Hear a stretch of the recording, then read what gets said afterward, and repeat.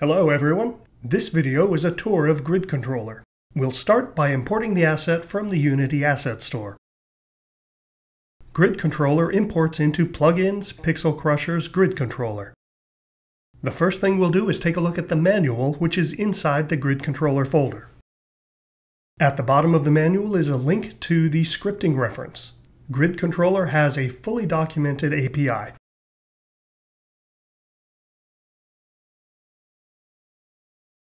Now we'll take a look at the demo, which is in the demo folder.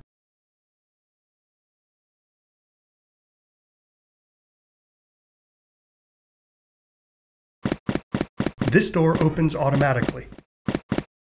This door opens when you interact with it. Grid Controller also has Free Look mode. This door opens when you interact with a lever.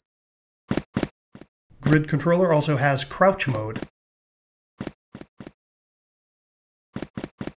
And it works with stairs and ramps.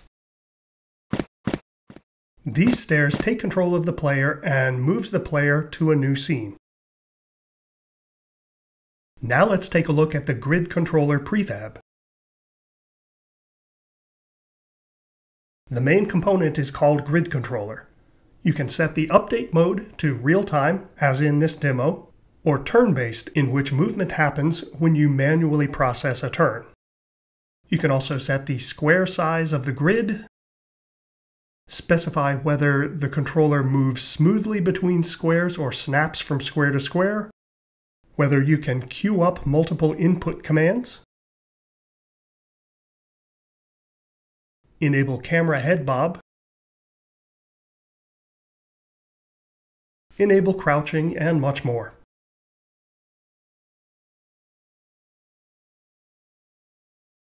Next, we have the free look component. If it's present on your grid controller, the player can free look using the mouse or joystick. The grid controller input component handles input using Unity's built-in input manager. Grid Controller also has built-in options to use Rewired or the input system package, or any other input system because it's abstracted in a C-sharp interface. Details on switching to Rewired or the input system are in the manual. Here I'm clicking Check Input Settings to ensure that the Input Manager's input definitions include all of the inputs that Grid Controller uses. Grid Controller Audio handles audio such as footsteps and door sounds using Unity's built-in audio system. There's also an option to switch to built-in Fmod support or support any other audio system since once again, audio happens through a C-sharp interface. The last component we'll look at here is the interactor, which lets Grid Controller interact with interactables, such as doors,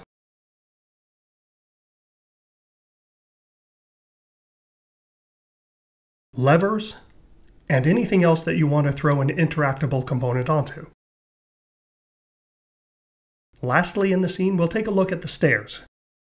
It has an auto mover component which takes control of Grid Controller and moves it into a scene portal.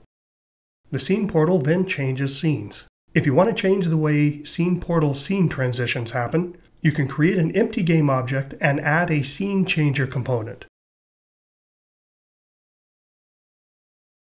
This will turn the game object into a singleton, where you can configure if and how it fades, whether it uses synchronous or asynchronous scene loading, and more. Finally, we'll take a look at the arrow pad prefab, which is entirely optional to add to your scene.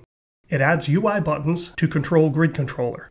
You can, of course, change the appearance and layout of all of the buttons in the arrow pad prefab.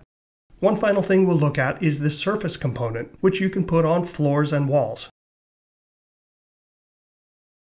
The surface component lets you specify audio to play when the player walks on a surface or bounces against a wall.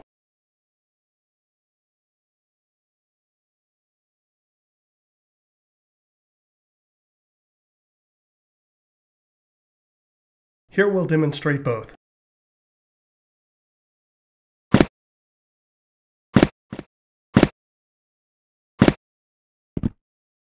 And that's the bounce sound. In the next video, we'll put together a scene from scratch.